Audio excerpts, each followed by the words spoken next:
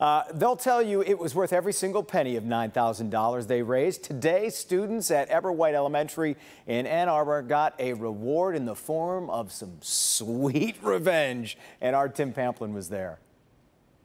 Well, a break from academia for these young elementary school students in Ann Arbor, which is Eberwhite Elementary School, and they are about to have the time of their life. This playscape was built by the community 30 years ago. It's part of the community, not just a wooden structure. It's a place where youngsters can do what, well, youngsters are supposed to do. Muck about, have fun, burn off some energy. But this old structure's time is up. The wood is rotting. Splinters galore.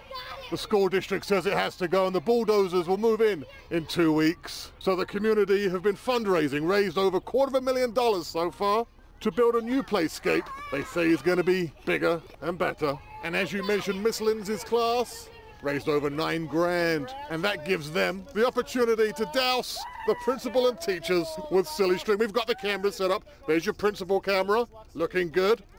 Where's the student cam? There we go. Silly string at the ready. All we need now is a countdown. Four, Three, two, one. Let it rip, kids! Oh my goodness gracious me. What a wonderful afternoon. Well done, Mrs. Lindsay. Well done, everybody in the Eberwhite community. That is the scene at Eberwhite Elementary School in Ann Arbor. Tim Pamplin, Local 4. I'd like to see the night cam get that. Too. I love that story. Local 4 News at 6 is next. There's